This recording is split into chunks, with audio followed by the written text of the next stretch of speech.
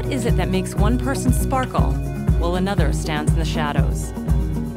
It's pride, strength, and vision. It's the brilliance of discovery and creativity. It's the spark of potential.